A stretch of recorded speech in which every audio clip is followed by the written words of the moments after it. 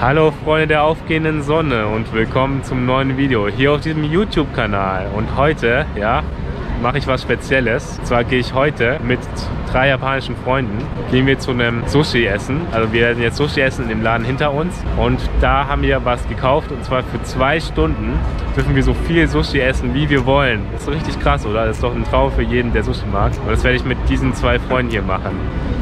Guten Tag! Yeah, let's go!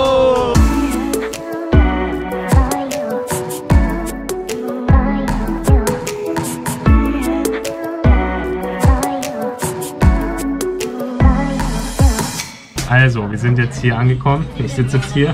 Ich werde werd euch erstmal was erklären. Das gibt es in jedem japanischen Restaurant. Das nennt sich Oshibori. Ja? Damit macht man sich die Hände sauber, bevor man was isst oder was trinkt. Das ist so, ne? Das ist einfach so in Japan. Es gibt diesen Gebrauch. Das werde ich jetzt einfach mal euch demonstrieren, wie ich das mache. So ein bisschen angefeuchtetes Tuch. Ne? Das nimmt man einfach und macht sich damit einfach die Hände sauber. So einfach kurz so, ne? Kirei ni suru ne? Und dann kann sie der. Mm. So. Genau. Und dann lege ich es einfach irgendwo hin, wo es nicht stört. Also die Atmosphäre hier, die gefällt mir sehr gut. Es ist ziemlich hell. Na, ihr könnt das hier im Weitwinkel vielleicht ein bisschen sehen. Ne? Gutes Bild vom Fujisan da an der Wand. Ich weiß nicht, ob man es im Hintergrund sieht. いい結構いいよね雰囲気とかうん、日本っぽい日本の居酒屋って感じ日本の居酒屋上とか面白いな Ah, genau, hier oben, wenn ihr euch das mal anschaut. Die Decke hier ist auch ziemlich cool gemacht.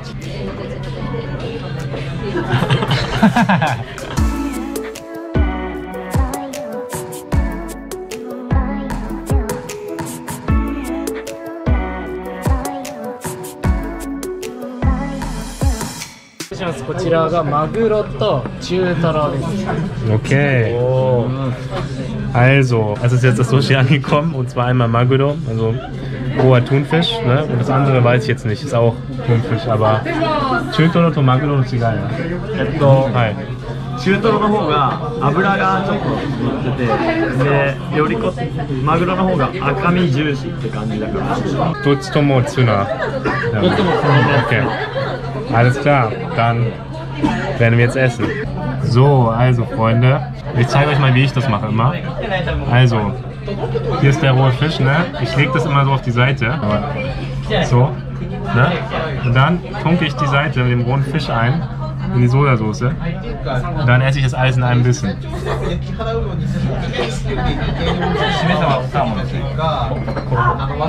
Und es schmeckt gut. Nice. Das ist gemein. Gemein. Wow. Wow.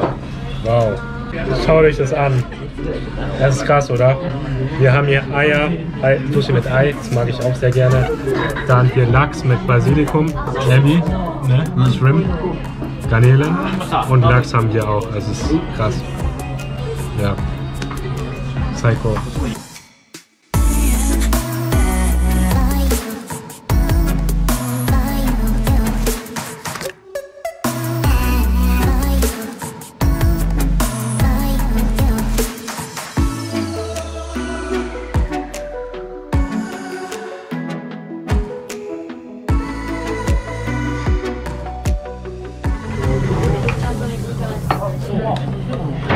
Seht es gerade, wie es mein Kollege gerade gegessen hat, wie es mein Kumpel gegessen hat. Er hat es mit der Hand tatsächlich gegessen. ne? Das ist üblich, dass man es auch mit der Hand isst, Sushi. Also ihr dürft es auch mit der Hand essen. Die Japaner machen es auch so. Oder auch traditionell isst man es auch oft mit der Hand. Ne, Tere taberu ne ni Nihonjin mo Tere taberu. Mm. Genau. Und hier haben wir natürlich noch Ingwer. Ne? Das kennt ihr auch, wenn ihr in Deutschland Sushi kauft, ist da auch, auch oft Ingwer dabei, ne, was man so dazu isst. Ne? Ja, passt auch einfach dazu. Guckt euch das mal an. Das ist doch krass, oder? Habt ihr sowas schon mal gesehen? Ich finde, ich habe noch nie sowas gegessen. Also das, ist, das Besondere ist ja daran, dass es halt der rohe Fisch so lang ist. Ne? Und ja, das esse ich zum ersten Mal. Und ich bin auch zum ersten Mal in einem Sushi-Laden, was nicht Fließband-Sushi ist, also was so ein bisschen bessere Qualität hat. Ähm, das ist richtig krass und ja, es wird gut schmecken. Oder ich habe gerade auch schon gegessen, das ist mega lecker.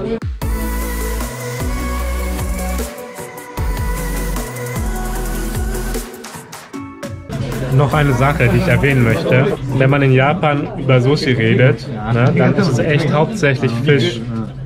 Wenn wir in Deutschland über Sushi reden, dann essen viele auch Avocado, Gurke, aber in Japan der Ursprung liegt beim Fisch. Ne? Wenn, wenn ein Japaner an Sushi denken, das ist eher Fisch für sie. Ich muss ehrlich sagen, manche, manche Fischsorten liegen mir voll. Aber es gibt manche, die esse ich jetzt nicht so gerne. Also ich kann sie essen, aber ich mag es jetzt nicht so. Sage ich, sag ich auch ganz ehrlich. Da muss man immer gut auswählen, was man isst.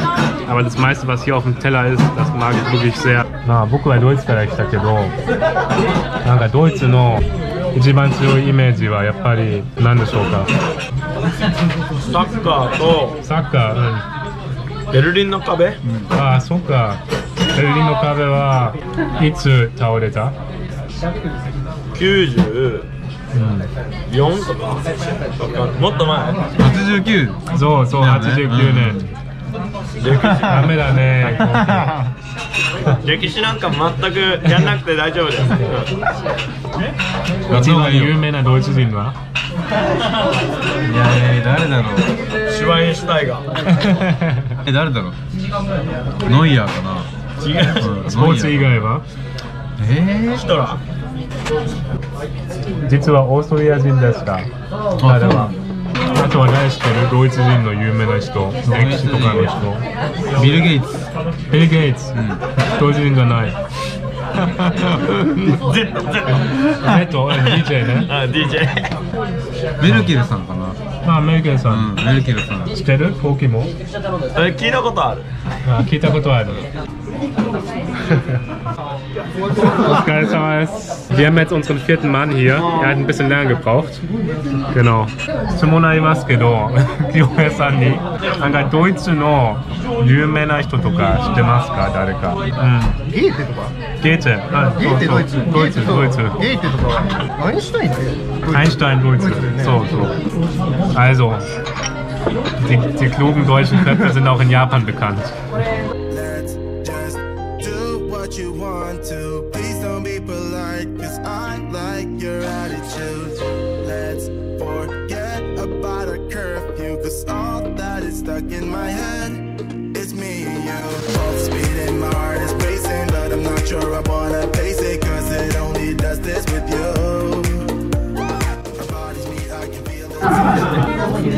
Genau, was ich euch noch sagen wollte, genau, der Geschmack von dem, wenn du Sushi in Japan isst und wenn du Sushi in Deutschland isst, ist echt ganz anders. Aber ich finde, den, ich mecke auch nicht rum, wenn ich in Deutschland Sushi esse, dann, dann ist es halt was anderes, aber ich finde es trotzdem lecker. Aber in Japan hat es nochmal einen anderen Geschmack, nochmal mehr diese Frische, die kommt mehr raus. Ähm, und deswegen, in Japan schmeckt es wirklich sehr gut, aber wenn du in Deutschland auch so ein Sushi mit vegetarisch isst, finde ich es auch super.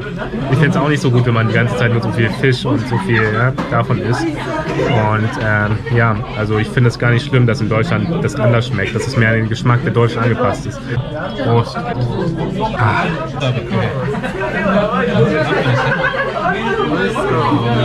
いい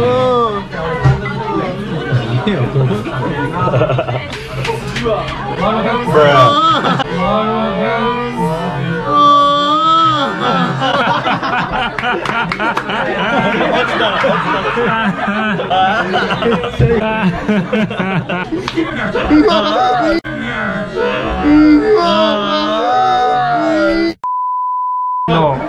お寿司のお米はどうやって作りますか？普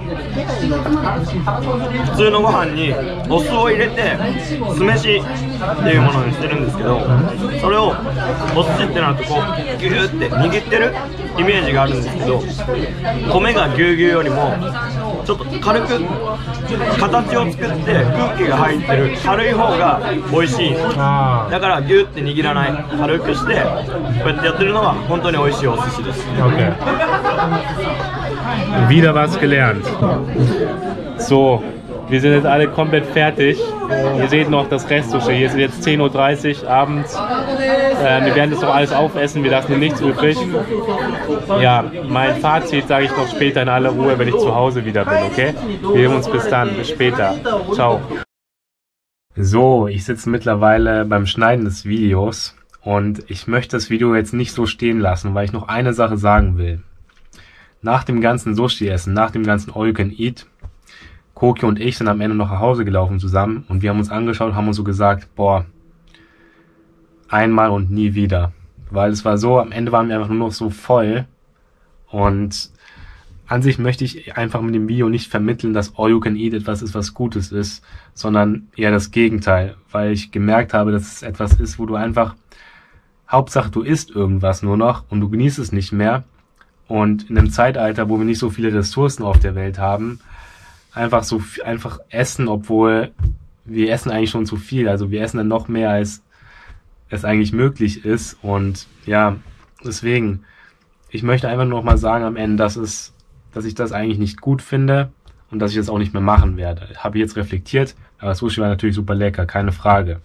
Wollte ich nur einfach am Ende sagen. Und ähm, ja, ansonsten hoffe ich, dass das Video lustig war und dass es informativ war, dass es dir gefallen hat. Lass gerne einen Daumen hoch da, falls das Video ja, interessant war. Oder falls solche Videos öfter kommen sollen mit japanischen Freunden. Dann sehen wir uns hoffentlich wieder im nächsten Video und Peace. Seno, bye bye. Looking for someone to show